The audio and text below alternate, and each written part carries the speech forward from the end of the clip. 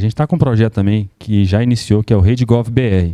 E o Rede Gov BR é justamente para trazer a participação dos estados e municípios para todas as ações que a gente tem feito de transformação digital tanto para ajudar os municípios na transformação de serviços lá estaduais, que não tem nada a ver com o governo federal, quanto também adquirir tudo que a gente tem feito. Então, o nosso processo de nuvem atualmente, por exemplo, Minas Gerais e São Paulo, tanto a Prefeitura quanto o Estado, levaram para estudar e estão perto de licitar um modelo semelhante, já melhorando algumas coisas, evoluindo conforme a realidade deles.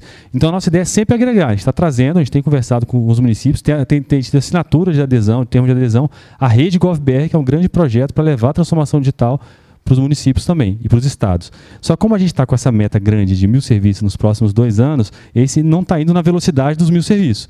Mas até o final do governo, sem dúvida, a gente vai ampliar e a gente quer que no nosso portal GovBR tenha os serviços todos federais e estaduais também, municipais também. Então, nossa ideia já é ampliar isso para eles também. E levar todo o potencial de nuvem de utilização para os municípios e para os estados também.